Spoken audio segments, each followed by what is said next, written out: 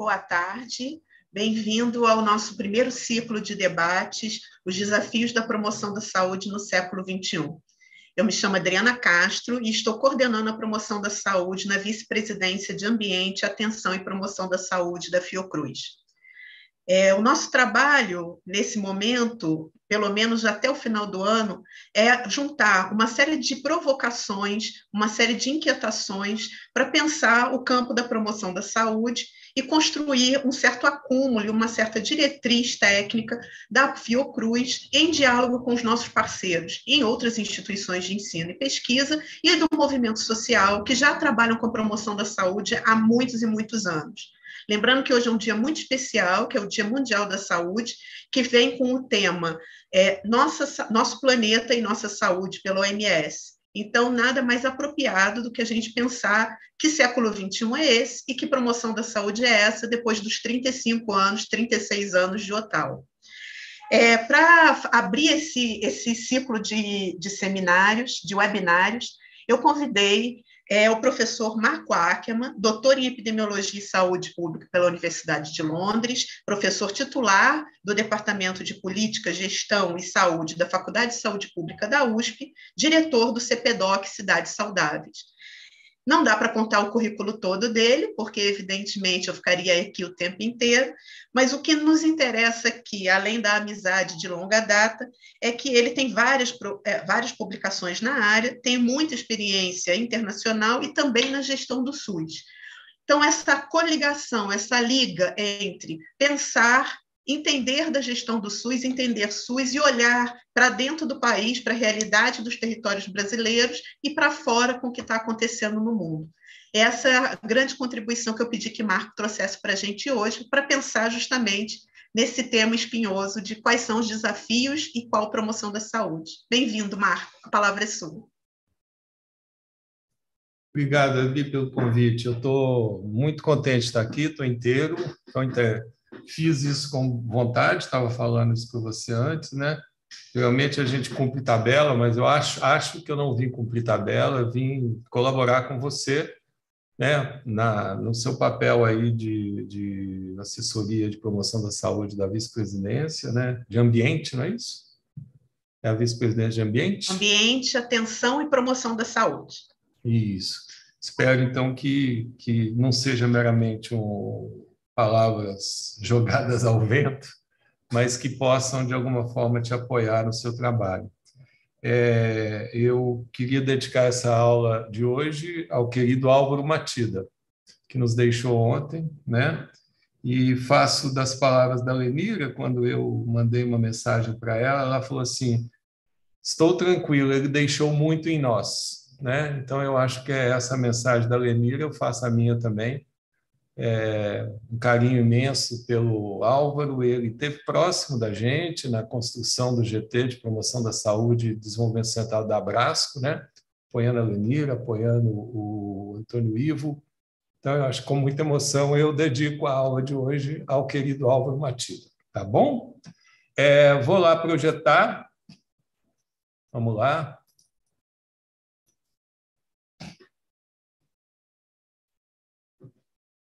Então, é, como a Adriana falou, e está aí no cartaz, né?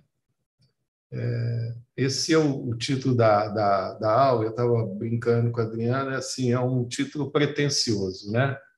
É, a gente não sabe o que, que vai acontecer amanhã e a gente vai é, levantar os desafios da profissão do século XXI. Nós já estamos no século XXI, nós estamos em 2022, faltam só 78 anos para acabar o, o século XXI. A gente não tem a mínima ideia do que vai acontecer em 2023, 2024, 2025.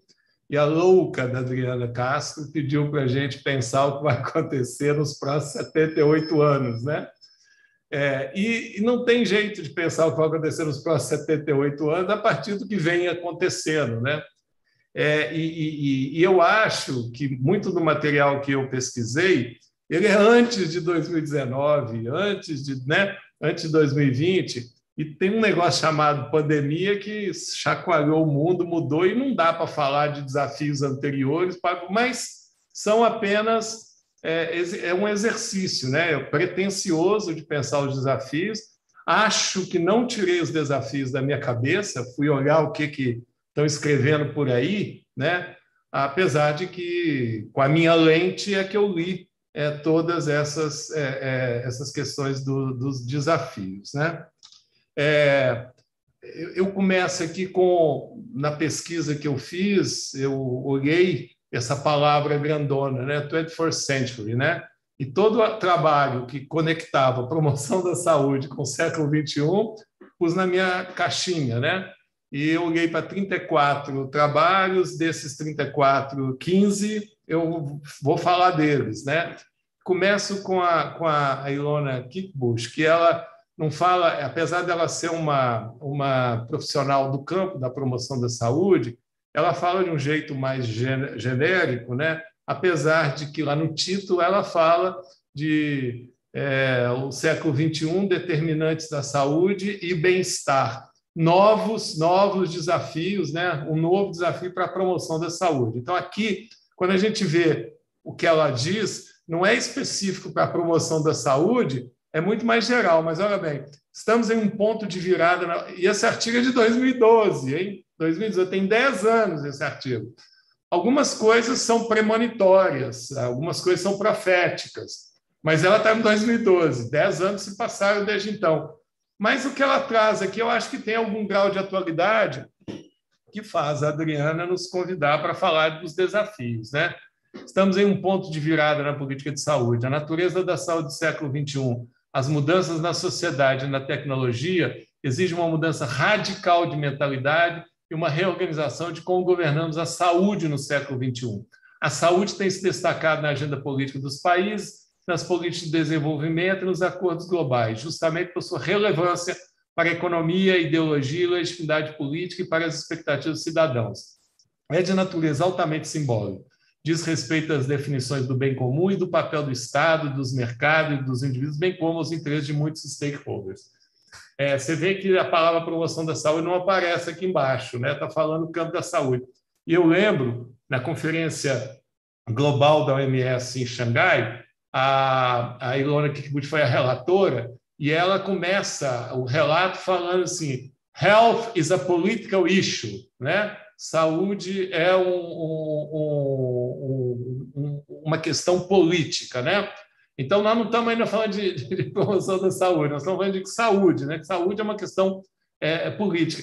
E, dez anos depois, com a pandemia, né, acho que essa questão se, se, se acirra. Né? E é, eu fui ver que tá todo, não é só a promoção da saúde que está perguntando quais são os desafios do século XXI, está todo mundo perguntando sobre o século XXI. Aqui, ó. É, gente, aí isso é é, perguntas relacionadas com healthcare, né? Que eu traduzi isso aqui, né? de cuidados. Ó. Como podemos responder eficazmente a doença em rápida evolução? Como podemos agir com segurança e ética? Como combater a obesidade? Como podemos criar tecnologia que ajude a saúde? Como podemos melhorar o serviço de saúde mental? Quer dizer, anuncia aqui algumas questões para o século XXI, né? É, que é essa rápida evolução do processo de, é, epidemiológico, né? essa discussão da genética, né, é que é uma questão de ética, de segurança. A obesidade, eu acho que está largado, mas não deixa de ser um desafio também que, que coloca impactos para a questão da, da saúde e essa discussão tecnológica, né? É, que, que, tecnologia tem que beneficiar a saúde e não beneficiar as multinacionais, os laboratórios, né? E uma coisa que a pandemia acirrou muito, né? Essa questão da saúde mental, né? que, que coloca aqui. Então, entrando um pouco nos desafios, sobre o que, que eu quero conversar com vocês. Eu quero falar de identidades e controvérsias. O tema da promoção da saúde não é liso, ele não é, é, é sem controvérsias, tem muitas controvérsias. Não quero ser o, o homem da flâmula, da bandeira, da promoção, quero trazer algumas questões nessa controvérsia é, apesar de ter muito debate no campo da saúde coletiva, e eu vou usar o Gastão no bom sentido para falar que a promoção é talvez um núcleo do campo da saúde coletiva, né? Gastão fala que a saúde coletiva é um núcleo de práticas é, e, e, e, saberes da saúde, é, e eu me identifico, né, a minha identidade é com o campo da saúde coletiva, e o campo da promoção é um núcleo de saberes e práticas da saúde coletiva. Mas existe uma comunidade epistêmica da promoção da saúde, né? Então, tem algo ali também vital, vibrante também, que precisa de ser reconhecido. Né? É, a gente está querendo falar da, da, da promoção, do, dos desafios, mas tem crises. Eu diria que talvez uma das questões é, atuais é que pode ser o apagamento da promoção da saúde. Né? É, e eu e a Adriana, quando a gente conversou nessa apresentação, a gente falou tem outros temas, né? Saúde global, PICs, saúde planetária, determinantes, que talvez engolem um pouco a questão da promoção. Aquele texto da Ilona é um texto do campo da saúde global. A Ilona, apesar de ser uma pessoa identificada com a promoção, ela tem uma identidade grande com o trabalho do Paulo Bus. Paulo Bus e ela fazem coisas juntas, né? Aquele texto é um texto de de, de saúde global, mas que no texto, no título, estava falando assim: é, desafios para a promoção. Então, é, é, é essa é uma coisa para a gente trabalhar, como que promoção, PIX, saúde global, saúde planetária e determinantes conversam, né? É, são núcleos diferentes, é a mesma coisa, é diferente, vai apagar, não vai apagar, né? É, Desafios. A Adriana falou assim, Marco, e o título está Desafio da Promoção, mas para qual mundo esses desafios? Né? É para é é o Rio de Janeiro? É para Fiocruz? É para Manguinhos? É, é, é, é para é, os indígenas que vivem no, no Amazonas? É para as tribos que não se comunicaram? Para quem? Para que mundo? Né? Esse talvez seja o primeiro desafio. Né? Para qual mundo que nós estamos falando desses desafios? Eu acho que tem um segundo desafio também. E tanto esse primeiro quanto esse segundo desafio são desafios da promoção da saúde, mas que podem se aplicar ao campo da saúde coletiva é, também. Né? É, e aí, é o que eu estava falando com a, com a Adriana, precisamos fazer uma pesquisa, quer dizer, não basta uma aulinha para falar de desafio, isso precisa de uma coisa um pouco mais densa, né? E aí apresentando para a Adriana o projeto Bola de Cristal, né? como talvez um work in progress. Por enquanto, hoje aqui ele gerou 13 desafios, olha só. Então, 13 mais 2, 15. A gente sai da aula de hoje, Adriana, com 15 desafios. Tá? É, eu fui olhar o novo glossário da promoção da saúde, que foi publicado na Health Promotion International em 2021, que teve o Donald Nutbin liderando esse processo, eu dei alguns palpites, quis incluir a palavra intersetorialidade no, no glossário, não consegui, é, é, não tem ainda a palavra intersetorialidade no glossário. Tem lá cooperação intersetorial, mas intersetorialidade não. Né? É, na arena internacional já começam a pensar, a falar, já vi uma mesa, participei de uma mesa sobre intersetorialidade de terceira geração ou de quarta geração. Então, mas aí eu acho que é uma coisa ainda para trabalhar. É, esse foi um, uma pista da Adriana. Eu fui olhar também essa 24ª Conferência Mundial da WIPS, que vai acontecer de 15 a 19 de maio lá no Canadá, né? É, e tem, olhando para as subplenárias, acho que pistas também das questões que a promoção da saúde vai ter que enfrentar no século XXI. E agora, José? E agora, Adriana? A festa acabou ou só está começando? Né? Poema lá do meu conterrâneo, Carlos Drummond, começa assim: e agora, José? A festa acabou ou só está começando? Aí eu incluí a Adriana aí, para ela, como ela é mediada, ela vai ter o trabalho final de falar se a festa acabou ou só está começando. Né? A palavra final é dela. então, é, no campo da promoção da saúde, né, é, esse, essa charginha, eu gosto dela bastante, o, o filho ali do Agar, o terrível Hamlet. Por que não pode haver paz e harmonia no mundo, papai? A paz pode ser possível, Hamlet, mas nunca haverá harmonia. É muita gente para cantar uma mesma música, né? Então, assim, a, a, a, o campo da promoção na saúde coletiva e o campo da promoção dentro da promoção, ele, ele está eivado de controvérsias, né? Tem muitas controvérsias aí, que é muita gente para cantar a mesma música, né? Mas que identidade que, inspirado por Gastão no seu seminal artigo de 2000, né? Saúde Pública, Saúde Coletiva, Campo e Núcleo de Saberes, estou lançando essa ideia de que a promoção da saúde como núcleo de saberes e práticas contidas no núcleo de saberes e práticas da saúde coletiva, ou até no campo da saúde coletiva, né? É, ampliando. Então, eu acho que a saúde coletiva contém o campo da promoção. Apesar de eu dizer que tem uma comunidade epistêmica da promoção, eu me identifico, apesar de participar dessa comunidade epistêmica, eu me identifico mais com a comunidade epistêmica da saúde coletiva no Brasil, com a Abrasco. Né? É, e, mas, de qualquer jeito, esses dois campos é, trabalham com a ampliação do conceito de saúde, né?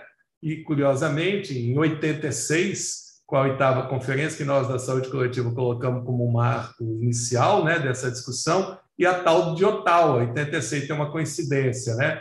E a saúde coletiva também trabalha com a determinação social do processo de saúde, e cuidado, que é o campo da promoção de saúde crítica, também é, traz para essa comunidade epistêmica essa discussão também. Né? É, isso aqui é curioso. Uma vez eu estava no GT de promoção de saúde da Abrasco, os colegas da Rede Unida me convidaram para a gente fazer algo conjunto. E, e, geralmente os congressos têm lemas, né? E eles falam assim: olha, vamos colocar no lema do congresso a discussão da promoção da saúde e era um congresso assim em Curitiba, 2005. E o lema do congresso ia ser assim: formação dos profissionais de saúde e promoção da saúde, políticas de Estado. Então, e eu estava lá como representante do GT para defender isso. E tinha colegas da saúde coletiva, da, dessa área de formação, não gostaram da questão da promoção da saúde, porque muito a discussão da promoção é entendida como um movimento, identificado muito com o Canadá, com uma coisa internacional. E aí eu fui para o hotel frustrado, falei, puxa, eu vim aqui com a missão do GT de promoção da saúde para, vamos dizer, incluir na agenda da Rede Unida a discussão da promoção, dormir. Aí eu pá, tive um negócio assim que passou. Ao invés da palavra promoção da saúde, os caras concordaram com a palavra promover saúde. E aí, o título do congresso foi Formar profissionais de saúde e promover saúde, uma política de Estado. Olha que interessante. Nós, no campo da saúde coletiva, não temos muita dificuldade com o termo promover saúde, mas o termo promoção saúde gera mais anticorpos. Né? Então, assim, nessa possibilidade, nessa necessidade de buscar articulação, né, a gente é, é, articula mais em, em, em, torno da palavra, do, da, da, expressão promover saúde, mais do que promoção da saúde. Né? E essa discussão que eu acho importante também de trazer para esse campo, que não estão em antagonismo, né? promover, prevenir, proteger, apesar de que eu até usei a expressão, muitos dos artigos que eu é, olhei, troca gato por lebre, fala que é um artigo de promoção, mas está falando de, de prevenção, né? E aí, proteger, prevenir e promover são preciosíssimas. Todas as três ações são preciosas, necessárias e importantes, né? Tem nuances, né? Eu protejo numa situação de insegurança, eu previno numa situação de risco e eu promovo no, no, no intuito de incrementar, de aumentar potências, né? É, e aí a, questão é assim, se eu quiser promover quando a situação e o contexto me demanda proteger, eu erro. Quando eu demando, quando eu quero promover, quando a situação demanda prevenir, eu erro, né? Então eu acho que há que se identificar essas nuances entre proteger, prevenir e promover, né? Porque cada uma dessas ações que o verbo infinitivo é, garante, têm dispositivos distintos, ações distintas, né? e não estão em antagonismos e nem são hierarquicamente superior uma à outra. Né? As três são dispositivos importantíssimos da ação em saúde pública. Né? E aí a minha lente com a qual eu li o que eu, que eu procurei para falar de desafios, né? E aí promover saúde, ó, eu não estou nem pondo promoção, Promover saúde é um imperativo ético para a defesa da vida, ancorado em uma base valorativa que busca praxis de caráter interdisciplinar e intersetorial, com respeito às diversidades e à atuação coletiva, sobre a distribuição desigual e injusta de poder, oportunidades, recursos, serviços, informação para promover a equidade e a justiça social. Essa, para mim, é a lente da promoção da saúde, do campo da promoção da saúde, né? É, que, que talvez dá a identidade né, do que é promover saúde. Tirei coisas aí da Política Nacional de Promoção da Saúde, respeito às diversidades, né? É, essa discussão da base valorativa que eu faço questão promover saúde sem base valorativa, a gente pode dar um, um tiro no pé, porque às vezes a gente pode é, fazer um trabalho visível de atividade física ou de alimentação saudável, mas aquilo é promovido como exemplo da Colômbia, né? Eu vi isso, um, um projeto de promoção da saúde e da atividade física premiadíssimo, promovido pelo narcotráfico na Colômbia o secretário de saúde teve que disputar os jovens com o narcotráfico e ele então trouxe para a promoção da pra atividade física esportes radicais. Então, a base valorativa ela é muito importante, né? É, da questão da solidariedade, da cooperação, da participação, né? Então, é, tra trazer a base valorativa para o campo da promoção acho que é importante. Opa! É um pouco isso, né? Os cartunzinhos, eu gosto desses cartunzinhos, né? se a vida é um jogo, né? Porque nunca chega a minha vez de jogar, né? Então eu acho que o campo da promoção como uma lente aguda para poder acabar com a invisibilidade, né? Então eu acho que é importante conectar o campo da promoção com isso, né? É, eu estou dizendo que não é em contraposição, não é uma versus a outra, mas existe uma comunidade epistêmica da promoção da saúde que é atuante, que é vibrante, que produz coisas, que há identidades com o campo da saúde coletiva, algumas sim, outras não, que sim, né, existe. É, tem espaços de governo, né? A OMS já produziu 10 conferências globais de, de promoção da saúde, a primeira a famosa tal, a última, a décima em Genebra, né? A nona na China em 2016, que falou da promoção dos ODS, e cada uma vai anunciando alguma coisa de acordo com o contexto. Né? Existem governos nacionais, é, é, que são espaço de governo da, da, da, da, promoção, fundações na Nova Zelândia, em outros países, né, que são estruturas de governo. É, é tem formulação de políticas, né? Política Nacional de Promoção da Saúde. Nem, nem todos os países, mas o Sri Lanka tem, a Nigéria tem Política Nacional de Promoção da Saúde, né?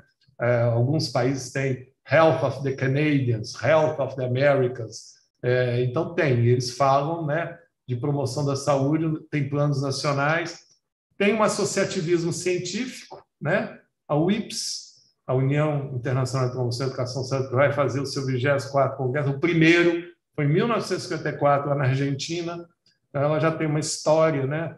ela tem, e nós temos GT de promoção de saúde da Brás, que é parte dessa comunidade epistêmica, tem revistas relacionadas com isso, né? Mas, apesar disso, é importante ver os sinais de crise. Eu me deparei com um artigo que eu vou ler depois para vocês, mas que eu não sabia, que, que a, a promoção da saúde some na década de 40. É, o artigo fala, ele faz um estudo do campo da promoção, talvez vem vindo forte né, do movimento da medicina social latino-americana, é, e depois, depois ele some, o artigo fala disso. Né? É, e aí, um dos desafios, eu pus lá o desafio do apagamento da promoção da saúde. Né? É, será que tem um resgate em 86 com a, com a, com a Ottawa? Né? São perguntas, research question, mais do que afirmações, né? Para a gente ir trabalhando essa questão do desafio. É, eu acho que isso é parte do apagamento quando a gente fala que atividade de prevenção de doenças, de riscos e de danos e conecta rapidamente com a promoção. Eu acho que a gente toma gato por lebre. Isso não é implicância, mas eu acho que é né, numa certa certo rigor para ver a nuance entre promoção, prevenção e proteção, né?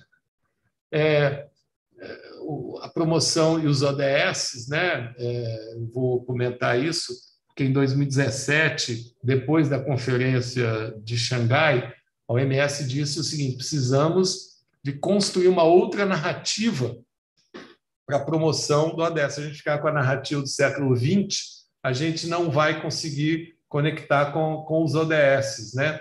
E, e, e nessa reunião apresentaram um trabalho muito interessante, um, até hoje eu não consegui ver esse trabalho, mas eh, procuro e tá.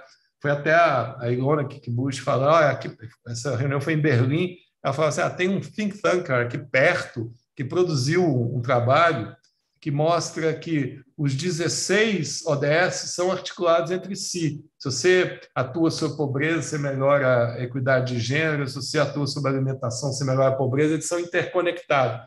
Mas tem um, o décimo segundo, que está associado com consumo e produção sustentável, que conspira contra todos os outros. Né? E, e aí eu, eu fui até brincar com a, com a Ilona na, na, na, época, porque tem aquela famosa frase do Clinton, né? quando ele ganha a segunda eleição, e um, assessor dele se aproxima e fala assim: é, presidente Clinton, o senhor é um político e tanto, né? Aí ele fala assim: é a economia, estúpido, né? Quer dizer, foi a economia que fez ele vencer, não foi a política.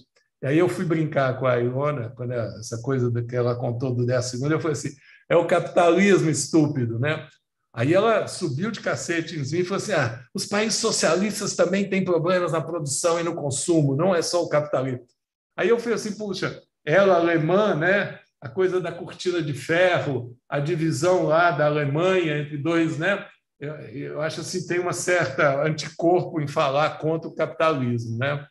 É, é isso. É, essa reunião então de, de Berlim de 2017 constrói a nova narrativa para a promoção do século XXI, falando dessas três coisas: saúde digital, que teria que ser um dispositivo que a promoção da saúde teria que incorporar, né? A questão da, do, da determinação comercial da saúde, né? Que o Paulo Bus acha que isso é um, uma, um componente da determinação social, não, não existe algo específico. Eu, eu, costumo falar de práticas comerciais deletérias à saúde, né? Práticas deletérias comerciais. Tem que ser olhado isso, né? Crises imigratórias, e lá também nessa reunião se falou muito de, de health literacy, né? É, que a gente aqui no, no, no Brasil né, tem ainda dificuldade, mas que a nova narrativa para a promoção teria que incorporar essa discussão da saúde digital, das crises migratórias, das práticas é, comerciais deletérias para a saúde ou conflitos de interesse, né? É isso que, que a Adriana trouxe, que a gente tem a determinação social da saúde global, PIC, saúde planetária. Isso aí é promoção da saúde também, é tudo, né? Quer dizer, como é que a promoção da saúde fica apagada quando a gente fala de saúde planetária, PIC, saúde global, né? É, e a pandemia da Covid traz outras questões. Eu, no início, eu mandei um monte de cartas assim, a promoção já tem algo a dizer para a Covid? Será que só tem para dizer para a Covid é os hospitais de campanha e tal? E aí, não estou dizendo que foi esse meu e-mail para os amigos que surgiu esse editorial e um material sobre cavalo de Troia que mostra um pouco o papel da promoção da saúde, né? São sinais de crise que a promoção tem ausência ou resposta. Uma das questões desse editorial é que a depois da pandemia, a COVID, a, da, da Covid, a promoção não pode ficar só com doenças crônicas não transmissíveis. Tem que ter estratégia também para pensar as doenças infecto-contagiosas, porque elas não vão parar de vir. Né? É, esse talvez seja o primeiro desafio. Vocês lembram, lá de Porto Alegre, que quando lançou o Fórum Social Mundial, falava assim, um outro mundo é possível. Né? E a gente acha que sim. Aí é um pouco a questão da utopia. Depois eu comecei a ouvir alguém dizer, gente, amiga, né, antropólogos, né, nada disso. Não tem esse negócio de um outro mundo é possível. Nós temos que mudar as relações neste mundo mesmo, né? É, e aí é, outra gente começa a dizer, né, que não há um mundo só, são mundos, né? São mundos, né? E essa frase aqui do, do Krenak recente, eu estava lá em BH, gosto de tomar café numa livraria pequenininha lá, vi esse livro de 2021, O Sistema e o Antissistema. Três ensaios, três mundos no mesmo mundo, né? que é um, um ensaiozinho do Boaventura Souza Santos, a Helena Silvestre, que é uma, uma socióloga mineira, e o, o, o Ailton Krenak. Essa frase, para mim, é, é muito importante, simbólica. Eu acho que e isso não tem a ver só com a promoção. Olha, o nosso desejo é que possamos nos abrir para outros mundos, onde a diversidade e a pluralidade também sejam presentes, sem serem caçadas, sem serem humilhadas, sem serem caladas. E que possamos também experimentar viver em um mundo no qual ninguém precisa ficar invisível. E que sejamos capazes também de reciprocidade, que é um lema que deveria estar presente entre aqueles que propõem que nos juntemos para pensar mundos. Então, Adriana, você, não sei se você vai refazer a encomenda, desafios da promoção da saúde, para que mundo? É para Fiocruz? É para é quem os desafios da, da, promoção da saúde, né? Que a gente está pensando, né? Para qual mundo, né? Para Manguinhos, os desafios provavelmente de Manguinhos são diferentes dos desafios da promoção na zona sul do, do Rio, né? Então, assim, pensar os desafios contextualizados, qualificados nessa discussão que não há um mundo só, são mundos, né? É, isso fica como uma lógica operacional para praxis, né? É, não dá para desconhecer os então não dá para falar de desafios da promoção descontextualizada dos mundos, né? O segundo desafio que eu acho que tem o Marcelo Firpo gosta muito dessa num artigo do, do pessoal italiano, né, sobre ciência pós-normal, né? E, num mundo em que há complexidade e incerteza, grandes riscos, nenhum saber isolado consegue respostas, mas temos que tomar decisões urgentes. Né? É, é... E a, a, pandemia da Covid, né? esse é o segundo desafio para a promoção da saúde. O primeiro é pensar, o desafio de pensar desafio para qual mundo, o segundo desafio é como tomar decisões urgentes diante dessas questões. Esse é o segundo desafio. E aqui o, o projeto Bola de Cristal, né?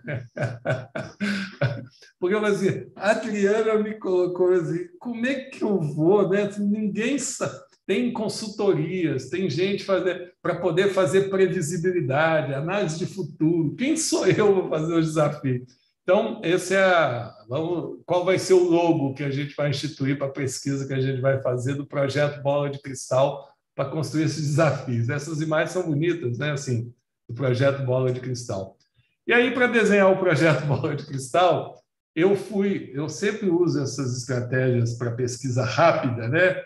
É, pegar a palavra health promotion, põe entre aspinha, eu quero que ela esteja no título, né?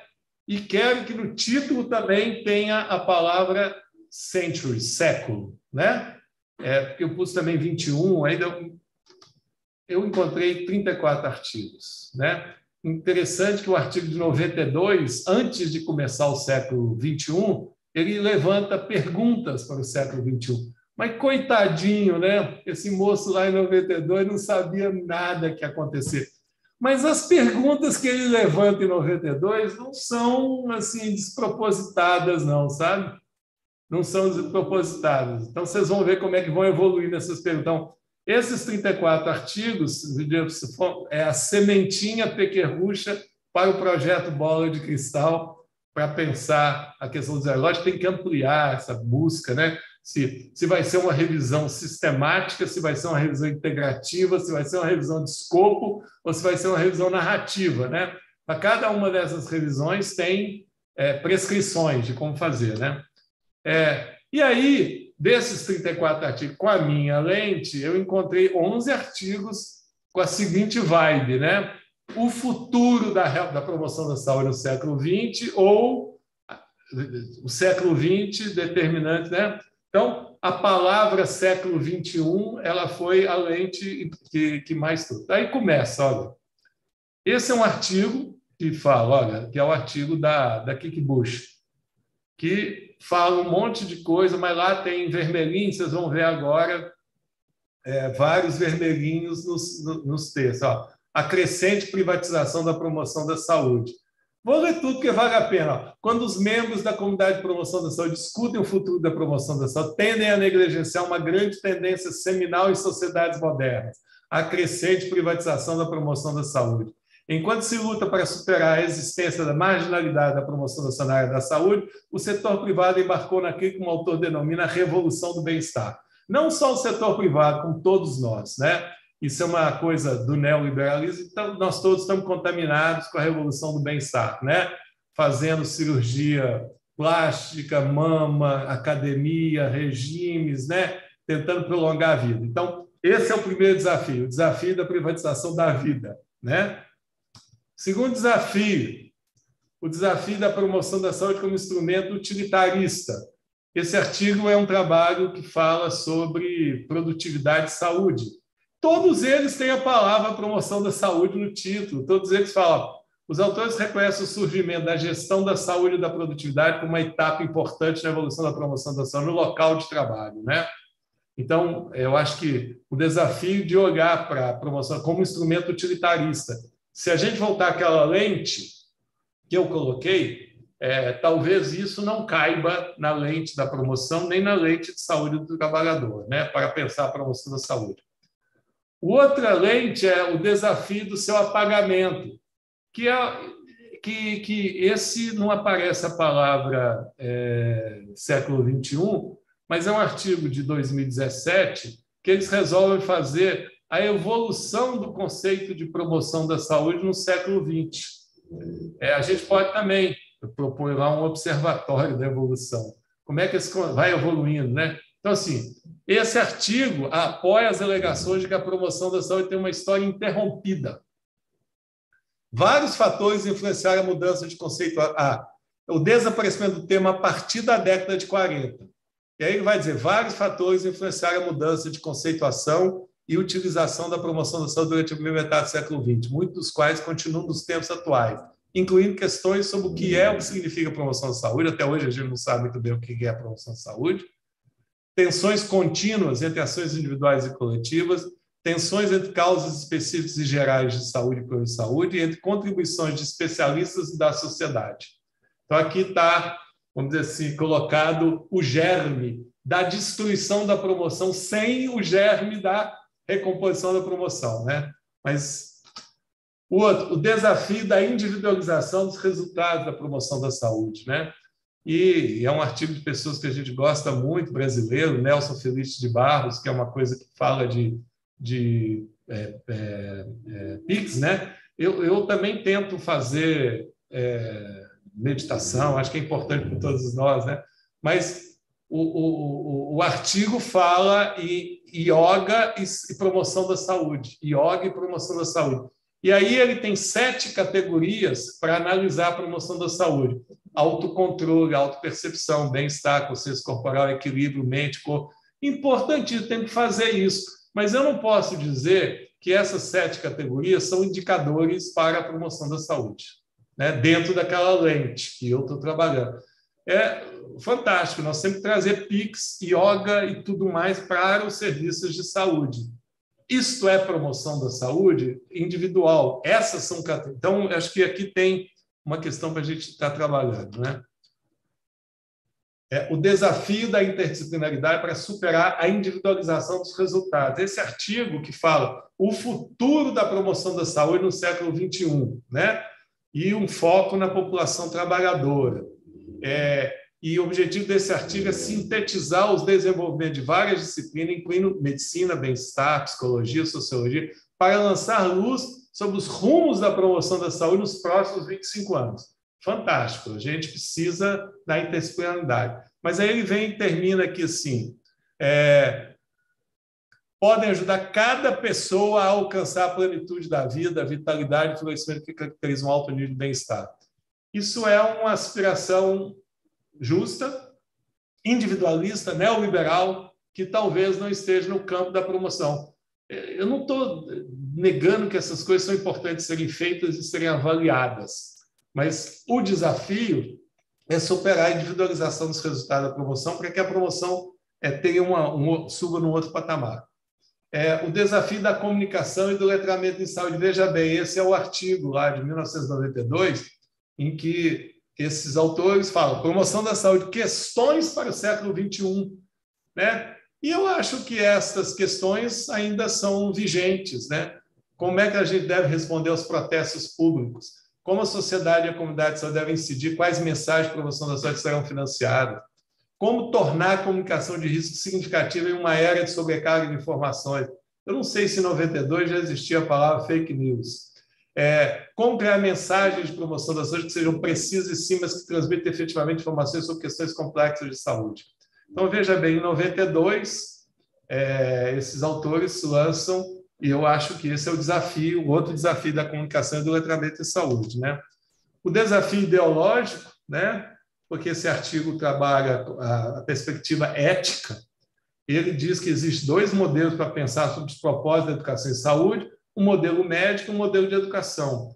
O modelo médico é efetuar mudanças direcionadas ao comportamento de saúde. E o outro modelo que é esclarecer os valores sociais básicos e fortalecer a faculdade de fazer julgamentos de valor, para que as pessoas possam viver o tipo de vida que os membros da comunidade considerem mais valioso. Esse é um desafio ideológico né, do campo da, da promoção. O desafio da formação, é, esse artigo fala de um currículo de promoção da saúde de prevenção de doenças, mas joga todas as habilidades, os temas no campo da, do, da, da prevenção da doença. Saúde e doença, epidemiologia e sua aplicação, meio ambiente de saúde, paciente, médico, sociedade, clínica complementar de saúde ocupacional. A gente vai lançar agora no congresso lá da UIPS, no Canadá, um livro que a gente fala sobre ensinar e aprender a promoção da saúde, experiência e reflexões pelo mundo afora, que a gente tenta trazer uma outra lógica, né?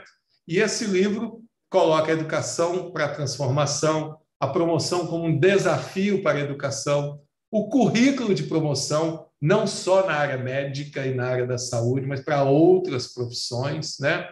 A gente quer tornar isso relevante para a prática, né? trazendo perspectivas globais. A gente acha que precisa de implementar métodos inovadores, porque se você achar, fala que a promoção quer mudar e trans, tra, trabalha é, promoção da saúde com aulas expositivas, tem aí talvez um paradoxo. A gente trabalha tópicos para promoção, ação comunitária em todo saudável, comunicação, formulação de análise de políticas, temas coletivos. A avaliação e promoção é sempre importante, tudo que vale a pena ser feito vale a pena ser analisado, né? avaliado, e a voz dos estudantes, que é o, o SET que não aparece aqui, e, e, a promoção como dispositivo transformacional. São 47 capítulos de 25 países que o livro vai sair com um jeito de trazer, de conectar formação com promoção. Aqui o desafio da onipotência para brincar de Deus. Porque, de novo, olha, é, novo modelo de promoção da saúde e prevenção de doenças para o século XXI. Ele até foge da individualização.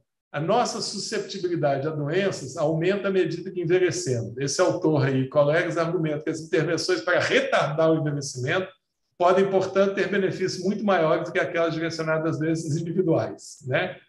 É, uma vez, o Castiel que é uma pessoa que eu gosto muito também, da querida Fiocruz Esp, né? Ele veio para um congresso da PSP e, e, e ele diz assim que todo mundo é, quer vida eterna, né? Todo mundo quer vida eterna, porque as pessoas se comportam como se fossem viver para sempre, né? E, e eu, a partir disso, na época, eu falei assim: você me dá licença aqui de eu perguntar para o pessoal aqui sobre isso? Aí eu, eu perguntei assim: se existisse o elixir da vida eterna, quem compraria? A grande maioria não compra o elixir da vida eterna. Poucas pessoas compram, uma ou duas, né? O elixir da vida eterna. Porque a vida limitada é que dá movimento para a vida. Se eu soubesse que fosse ver para sempre, talvez eu não acordasse hoje, né? Então, assim, é, mas tem na, na, na, na lógica de vender né, a, a, o bem-estar, estudos para retardar o envelhecimento, né? E isso é chamado também de promoção da saúde. Então, o desafio da onipotência, para brincar de Deus, né? O, o, desafio, isso é interessante, para priorizar, aqui um exemplo de priorização de ações efetivas no campo da promoção que eu gosto, é da famosa Jacarta, né? Declaração de Jacarta para o século XXI. A responsabilidade social, aqui tem uma carta, por exemplo, a Fiocruz e a vice-presidência pode adotar a promoção da saúde como isso, não tem problema nenhum. Aqui acho que cabe, né? promover a responsabilidade social pela saúde, aumentar os investimentos para o desenvolvimento da saúde. Depois tem que avaliar se está tá cumprindo isso, né? Para mulheres, crianças, idosos, indígenas, pobres e populações marginalizadas. Essa discussão da, da teoria de, de, de é, como é que é o, life expectancy, o, o, a teoria de, de, de faixas etárias, né? trabalhando isso. Tem muita gente trabalhando agora com desenvolvimento infantil, né? como uma lógica de pensar é, a, a, determinação, a promoção. Consolidar e ampliar as parcerias em saúde, aumentar a capacidade da comunidade, assegurar uma. Principalmente qualquer dia fica para nós o desafio de, do que você prioriza de ação efetiva.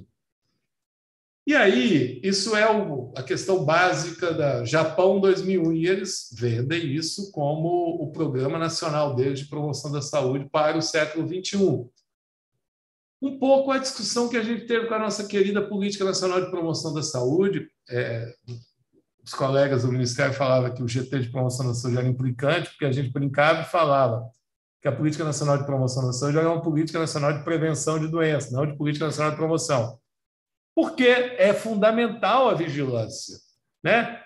O programa japonês fala em nutrição e dieta, atividade física, exercício, relaxamento, mente saudável, consumo de água, saúde bucal.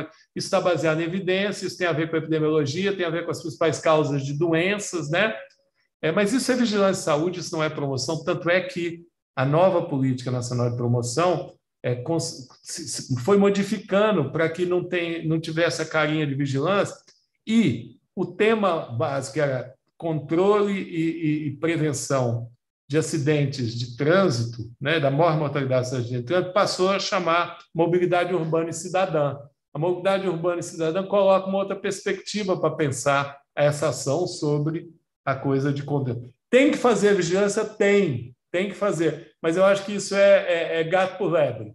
É chamar a vigilância de saúde de promoção é enfraquecer o campo da promoção da saúde. Né? É, e não estou antagonizando a promoção com a prevenção e nem com a vigilância, né? mas eu acho que é no sentido de, de dar uma distinção para a promoção, os senhores japoneses chamando isso de política nacional de promoção, não é política nacional de promoção aqui.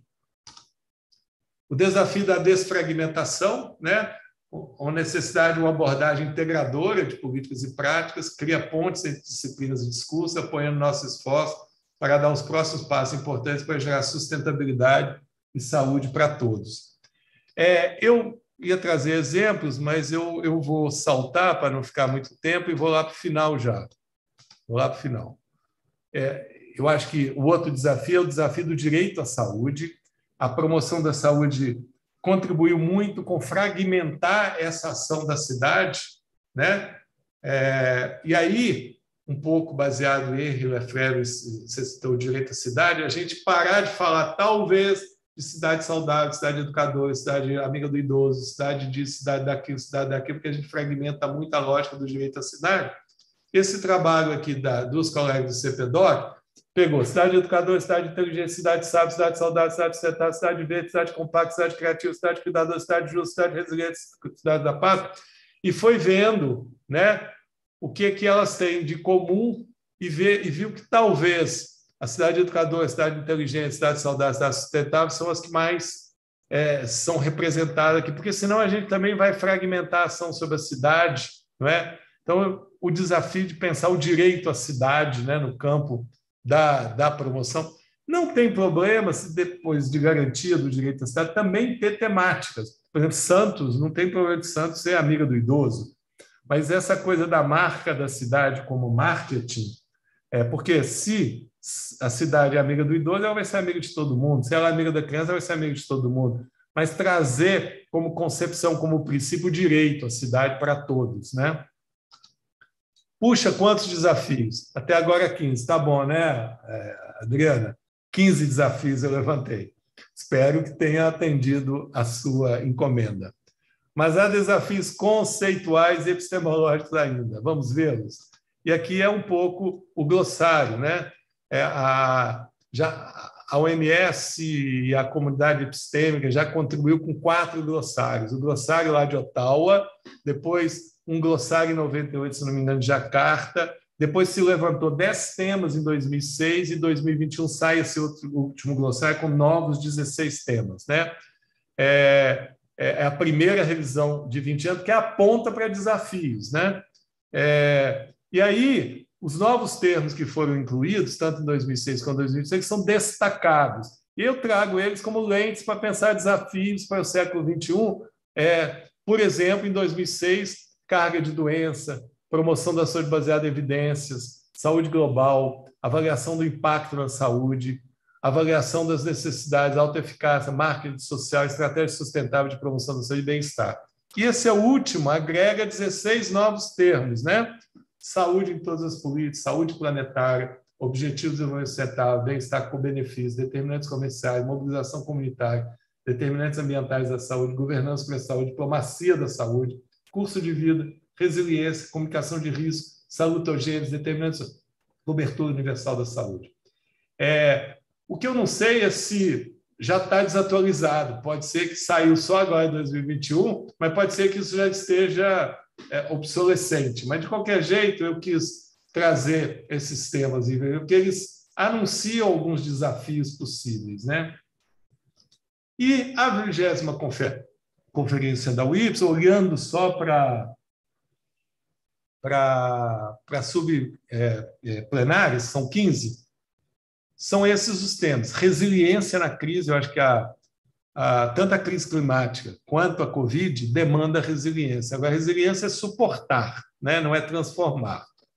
É, confiança do público em tempos de crise, esse é um desafio. Como é que você constrói confiança para a comunicação de risco? Né? A gente viu no Brasil essa questão. A gente viu que Araraquara e Nova Zelândia em que as pessoas confiam nos no seus dirigentes, a possibilidade de implementar mudanças é maior. Então, a confiança é um ingrediente importante, um desafio. Né? Proteger e promover a saúde com emprego precário, políticas de descolonização, fazendo as pazes com a natureza, trabalhando além das fronteiras setoriais, recuperação equitativa pós-pandemia, letramento em saúde para construir a confiança do público, unindo arte, cultura e promoção, as promessas da interseccionalidade, alcançar a justiça social por meio de práticas políticas coerentes, construindo cidades mais equitativas, o direito à cidade, né? e política de promoção da saúde mental. Veja bem que isso está numa conferência mundial da UIS, mas eu te diria que esses são desafios para o próximo governo do Brasil, né? independente deles serem parte da, da comunidade epistêmica de promoção da saúde coletiva. Então, interessante, uma conferência mundial da comunidade epistêmica está tá captando as demandas sociais. Né? E aqui, volto para o seu título, aqui aponta um desafio. Né? Aqui, é aqui é a academia falando do que precisa ser discutido, mas mostrando alguns desafios para o campo da promoção. Né? E combate à discriminação, o último, esqueci de bater aqui. E agora, José, e agora, Adriana, a festa acaba ou você está começando? Que está um projeto que observa esses movimentos e produz atualizações. Pesquisa, tradução do conhecimento, compartilhar conhecimento com a sociedade, pesquisa participativa. E aqui, para terminar, um exercício de tradução do conhecimento que a gente fez, a, a, a OPAS, junto com o Ministério, lançou editais para a construção de 20 obras técnicas para aumentar a implementação da promoção da saúde a gente no CPDOC ficou com essa, trilhar a promoção da saúde ODS. E não é livro, não é artigo científico, não é manual, não é guia. É uma tentativa tá, de agitar, agitar os municípios, o cidadão, a partir de 10 trilhas de como que a gente pode trilhar a promoção da saúde dos ODS. A gente acha que isso é um dispositivo de tradução do conhecimento e que faz difusão científica e militância lúcida, né? em que tem base na ciência, é, mas constrói a linguagem de um outro jeito. Então, para traduzir os desafios da promoção, a Adriana e a vice-presidência pode construir um, né, quais são os desafios, como que opera esses desafios para conversar com mundos, né? Obrigado. Foi bom estar aqui com vocês. Obrigado pela oportunidade, pelo convite, tia Adriana.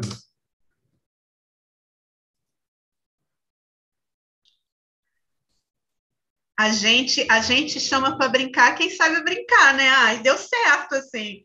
Me listou aí milhares de desafios e, enfim, antes de eu fazer qualquer comentário, eu quero agradecer a presença de quem está no YouTube, né? Então, é, primeiro a Deis, que deixou um abraço e agradeceu pela homenagem ao Álvaro, mandando também um abraço para a Lena e para a família. O Sérgio Munk, que é da Escola Politécnica da Fiocruz, a Sueli Lopes, da Federal da UF do, no Rio de Janeiro, e a Maria José Lins, que fez vários comentários, ela está em Alagoas, e aí pensando tudo isso que você falou na relação com o desmonte da atenção básica, com a política de promoção da saúde que efetivamente não chegou é, e não se capilarizou no cotidiano na vida do SUS, é, e como a gente pode é, pensar isso. É, eu queria agradecer e que, a presença de todo mundo e os comentários, enfim, mas eu acho que tem um, um eu acho que tem um, um, o cerne talvez da nossa conversa tenha menos a ver com, com pensar um desafio é, coisa, né? um desafio só operacional, né? E, e, e, de maneira geral, a gente, o campo da promoção da saúde é entendido como núcleo da saúde coletiva, que eu também gosto dessa perspectiva, me sinto bem sanitarista é, nesse sentido. Eu acho que você coloca que um desafio para mim que é central tem a ver com essa, com o que você chamou de campo valorativo, né? Ou que a gente poderia chamar de, de compromisso ético político, né? Assim, em que medida a gente consegue é, afirmar o compromisso é, ético-político da promoção da saúde num cenário aonde a marca é, como de, enfim, no diálogo com Castiel, que também é um colega que, que eu gosto muito, é, que, num cenário onde é, se trabalha com tecnicismo, com utilitarismo, com gestão do desempenho o tempo inteiro, com sujeitos isolados e empresários de si, né? É, nesse sentido de que você tem que fazer autocuidado, você tem que retardar o envelhecimento, porque ser jovial, né, ser jovem, é o que é valorizado no campo, ser produtivo é o que é, e agora ser empreendedor. Então, você tem uma, um esgarçamento daquilo que é a lente, né? o esgarçamento do compromisso coletivo, é, que talvez seja o grande desafio.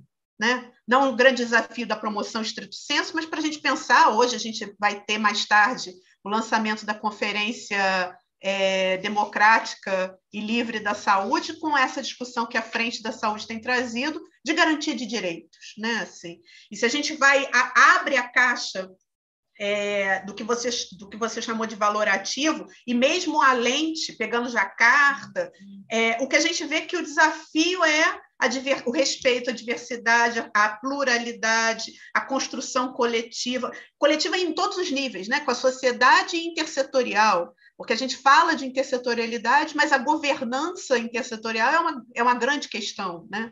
É, o tempo inteiro a gente pensa políticas setoriais, a gente pensa é, ações setoriais. É, então, esse grau de esgarçamento é, e, e, e que a gente consiga reverter a perspectiva de que a maior parte de nós, pensando só no Brasil, ela é invisível ou ela é, como diz Judith Butler, um corpos matáveis? Eu acho que essa, esse talvez seja o grande desafio, né? pensar uma promoção da saúde que, que, que possa investir mais nessa pegada crítica, investir mais é, nessa reflexão. É, eu sempre penso, né, um certo deslocamento que eu sempre me incomodei muito e você sabe disso de longa data com a história lá de Otal das habilidades, né? Mas quando a gente desloca isso para pensar capacidade reflexiva, capacidade de se afirmar como sujeito político, capacidade de transformar, de não aceitar ser invisibilizado, eu acho que esse talvez seja é, o grande chamamento que a promoção da saúde faz, né? Aí da prisão, né, da responsabilidade individual para encontrar todos na polis, né, na ágora, né? e congraçar-se né, com um exercício coletivo de ação. Né? porque está tudo voltado para o individual, Netflix, o iFood, a casa de cada um, e como que a pandemia aprofundou isso, né? Nessa coisa, né? E aí fica no prazer hedonista, né? Não lidamos com a falta de jeito nenhum e sempre queremos preencher. E preenchemos com o quê? Com as lógicas que, que, que satisfazem individualmente a cada um, né? Então é, é, é duro, a dureza está entranhado na gente já, nas nossas vidas, nos nossos corpos, nas nossas casas, nas nossas famílias, essa lógica, né? Então acho que a promoção da saúde levantar isso e, vamos dizer assim, nos arrancarmos dessa dessa situação, né? Trazer criticamente essa questão, né? O coletivo é importante no campo da promoção, né?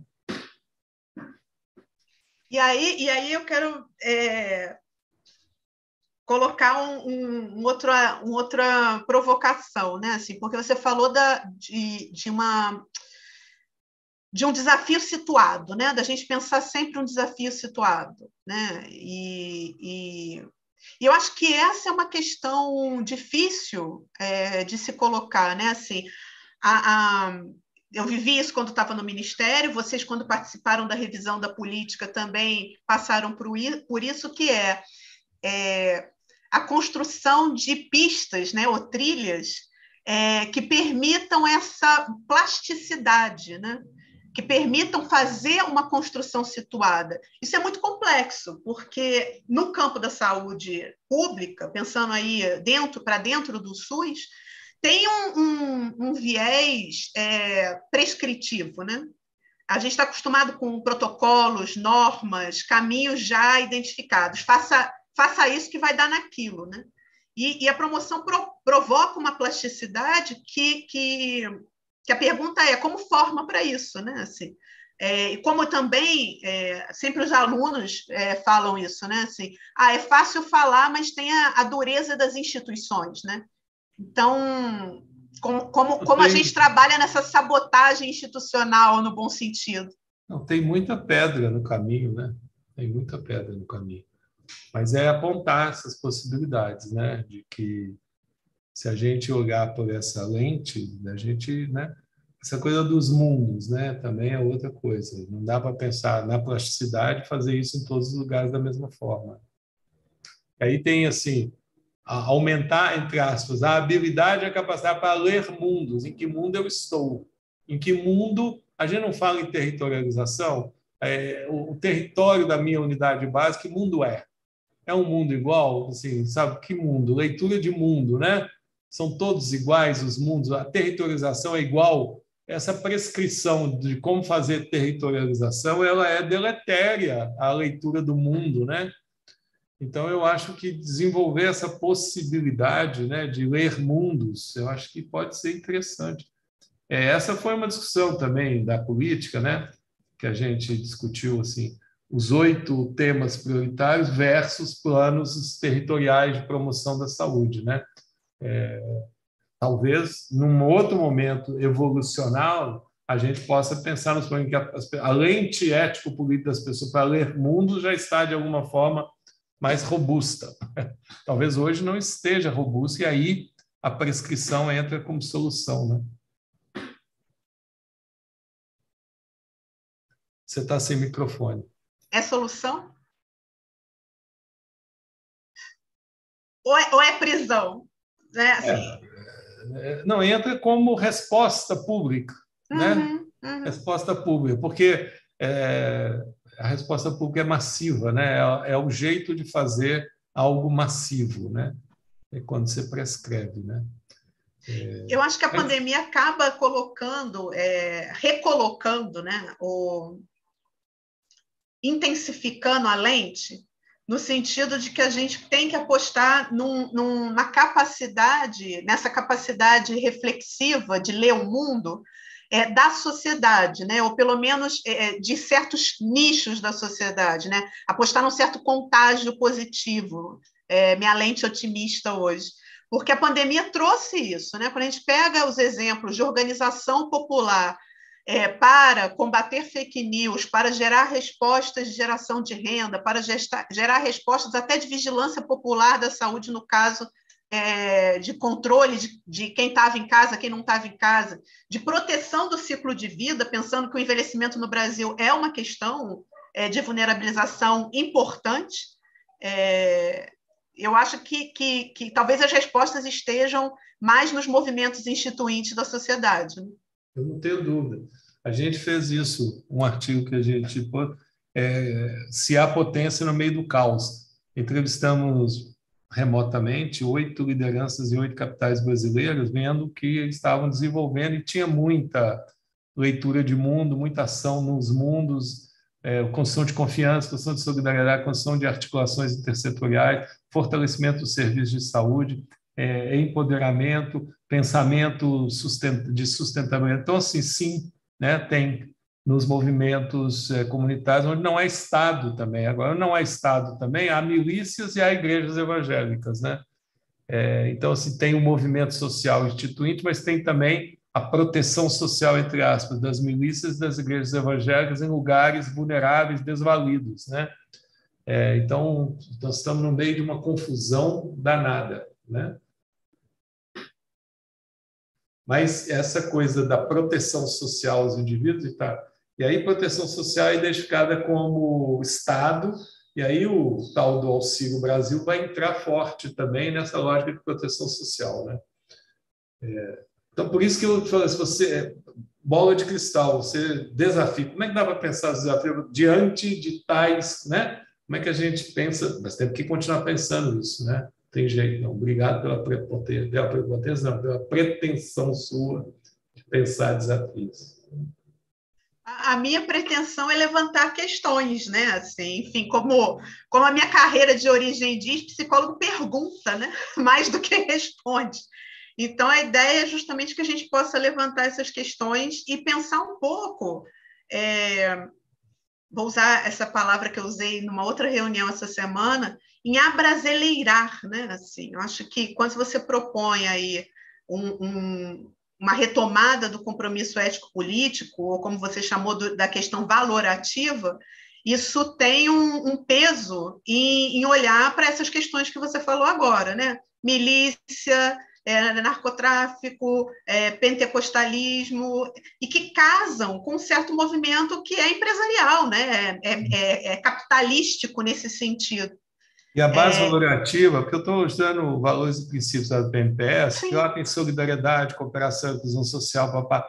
E até da gente fazer uma imaginação científica de como você produz indicadores de aumentar solidariedade, aumentar a cooperação, aumentar a confiança, aumentar, né? não olhar só para da base, vamos dizer assim, do impacto social, biológico, né? É, controle, prevenção e controle da maior mortalidade por acidente de trânsito. Não fortalecimento da solidariedade nos territórios é, vulneráveis, né? É, desenvolver atividade para fortalecimento da solidariedade e, nesse sentido, avaliar a questão de, de, de, de da régua da solidariedade. Eu, eu, comentei isso na aula do mestrado, eu tinha um, um amigo estatístico bem positivista, cartesiano, ele falou uma coisa interessante, tudo pode ser medido, que a gente ainda não inventou o jeito de medir tudo, né? Então, assim, medir no sentido não de é, quantitar, quantificar, mas uma lógica de uma, de, uma, de uma visibilidade do que, que é uma ação nossa num território que é capaz de aumentar a solidariedade entre os indivíduos, isso tem impacto na sociabilidade do território, por exemplo, né? E isso contribuir para a diminuição de problemas relacionados com a saúde mental. Né? A gente pode ir trabalhando lógicas nesse sentido, né? Porque senão, ah. desculpa a expressão, é só comer e cagar, comer e cagar, comer e cagar. E, e, e, outra coisa, aquele livro, né? As Crianças Mais Inteligentes do Mundo, de uma jornalista é, americana, que ela olha a educação na Polônia, na, nos Estados Unidos, na Coreia, na Finlândia, vai olhando, e aí ela chega assim, por que está mexendo na educação? Por que, que é importante a educação? Porque todo mundo quer uma boa universidade, porque todo mundo quer um bom emprego. Pô, é isso mesmo? A gente quer mexer na educação porque as pessoas querem uma boa universidade e um bom emprego? Né? Não, como que a gente pode pensar a, a educação como uma prioridade social, não para poder entrar numa boa universidade e ter um bom emprego? Será que não tem outras possibilidades de, de, de objetivar o investimento em educação, para além de entrar numa boa universidade e ter um bom emprego. É, então, as crianças mais inteligentes do mundo são aquelas que vão para as boas universidades e têm um bom emprego. Será que essa é a lógica mesmo de crianças mais inteligentes do mundo? O que a gente está chamando de ser inteligente, né? Começa por aí. Mas eu acho que você coloca um desafio importante que tem a ver com uma outra coisa que a gente conversou, o desafio de avaliar, né? Que é pensar em fortalecer o campo da literacia em saúde no Brasil, né? Assim, Nicole Leão, que é uma colega lá do Canal Saúde, também está acompanhando a live, e a gente tem conversado bastante sobre isso. A gente fez uma reunião essa semana, um pouco para discutir assim, ok, né? Como é aonde a gente vai fazer um, uma certa antropofagia, inclusive que não é nada original, porque vários americanos já pensam isso, de Augusto Boal, Paulo Freire, educação popular e acompanhamento de literacia em saúde, né? pensando literacia em saúde como esse espaço de produção de capacidade de ler o mundo, de reflexividade. Né? Boa, boa, isso é bom. Aumentar. Querido, o desafio aí da sua vice-presidência é aumentar a capacidade de todos os seus colegas para o mundo em que eles estão inseridos, chamado Fiocruziense. Não, chamado Brasil, que é o compromisso, Também. que é o nosso compromisso com a instituição pública. E, na verdade, o desafio não é só meu, né? o desafio é da Câmara Técnica de Promoção da Saúde, que reúne mais de 70 pessoas da Fiocruz, comprometidas com o tema e com o campo. É, e, como sempre diz o Hermano Castro, é, que é o vice-presidente, que a nossa entrega para a sociedade, né? o nosso compromisso quanto operador de política pública, produtor de política pública e de entregas né, para a sociedade. Né? Esse é o nosso desafio. Querido, muito obrigada por estar comigo, por estar conosco na Fiocruz é, que seja a primeira vez de um longo trabalho. Afinal, você me listou várias perguntas e me fez uma proposta indecente de observatório, grupo de pesquisa e etc. Estamos juntos nessa. Obrigada, muito obrigada. Obrigado pelo convite, um beijo para todo mundo e fiquem bem por aí, né? Beijo. Obrigada a todo mundo que acompanhou o nosso webinário. Esse é o primeiro, nós teremos mais quatro, três webinários até o final de maio, e logo a gente vai estar divulgando segunda, a segunda sessão, que acontece no dia 28 de abril. Até logo, boa tarde.